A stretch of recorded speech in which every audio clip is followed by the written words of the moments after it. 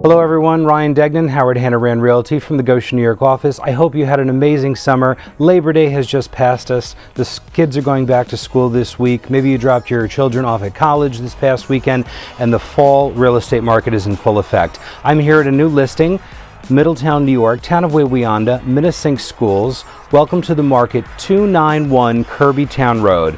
This is a gorgeous colonial, three bedroom, two and a half baths, 2,100 square feet on a very nice flat and level, three acres, with an above ground pool and a four seasons room that you can enjoy all year long. Let's take a look inside, shall we?